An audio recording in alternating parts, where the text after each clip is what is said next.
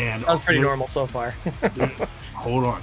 And there's a, there's a DeLorean sitting there with its door up in the air and a flux Okay. capacitor in the back seat.